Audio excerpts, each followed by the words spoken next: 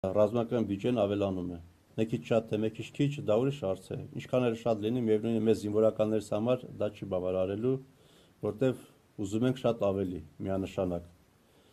այդ ուղությամբ բավականին դրամիջոցներով կար թվերը ավեն պատաս 18 թվականն է, հիմա 19 թվականին, 20 թվականն է, դրա համար ես ասեմ, ընդհանրությամբ աճ կա։ Մեզ բավարարող, իհարկե զինվորական, որ ամբողջ մեր պետության բյուջեներ տան, էլի չի բավարարի։ Բայց մենք ուրիշ ճանապարհով գնացինք, այնտեղս ավելացման զուգընթաց այն ինչ որ պետությունը կարողանում է հատկացնել, մենք իրականացրեցինք որոշակի միջոցների վերաբաշխում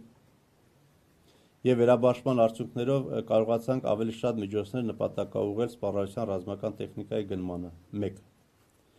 Հաջորդը որ կար, մենք երկարաժամկետ պայմանագրեր կնքվեցին որոշակի տեխնիկական միջոցների գնման համար, ասենք ասենք ոնց որ վարկերով։ Դա մասնավորապես, ասենք, վերաբերում է ավտոտրանսպորտային միջոցներին մեծ միջոց մենք մեծ մեծ քանակությամբ ենք ձեռք բերել, մի անգամից սա քանակություն մենք ձեռք բերեցինք, իսկ գումարը վճարելու ենք մաս-մաս նորից մեր բյուջեի հատկացումներ աշխում, բայց կարողացանք տալանջատել տարիների վրա պայմանավորություն ձեռք բերեցինք իրականացնել։ Դա երկրորդ ճանապարհը, որ եղավ։ Երրորդ ճանապարհը դա եթե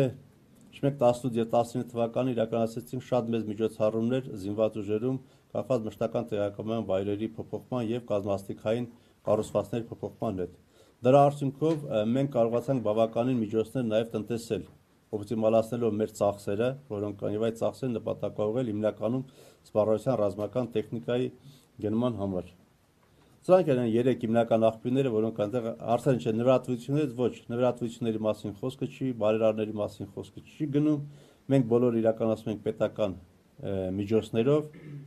այնինչ որ հատկացված է մեզ։ Եթե շատ ենք նեղ ընկնում, իհարկե դիմում ենք կառավարության որոշակի հարցերով, կառավարությունը մեզ աջակցում ինչպես օրինակ ասենք սու 30-ների հարցով, դրանք արդեն կառավարության ծրագրերով եւ այլ իրականացվում են։ Դրանք պաշտպանական բյուջեից չեն։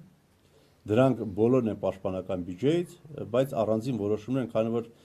մեր պետության համար դա բավականին մեծ գումար են տալու հետ կապված եւ դրանք առանձին որոշումների կարիքներ ունեն։ Դրա համար ես ասեցի օրինակ սու 30-ների հարցը որ շեշտում եմ, ինքը գումարային առումով բավականին մեծ է եւ եթե ես 1 տարվա գումարը ես հատկացնեմ պաշտպանական բնակցից, մյուս հարցերով խնդիր կունենամ, դրա համար դրանք